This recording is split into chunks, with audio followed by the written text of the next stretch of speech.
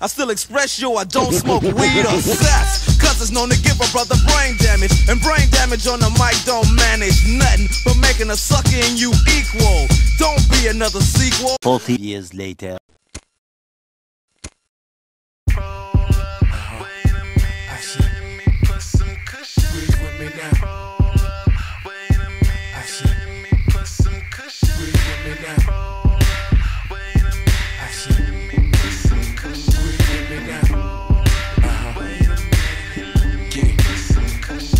Now it's that puff puff ass shit, Cheech Chong grass shit, blunts to the head, cush pillows, no mattress.